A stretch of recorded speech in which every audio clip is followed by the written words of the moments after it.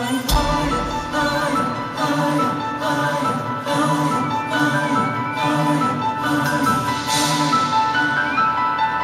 jump off that mountain Trey was talking about? Come on!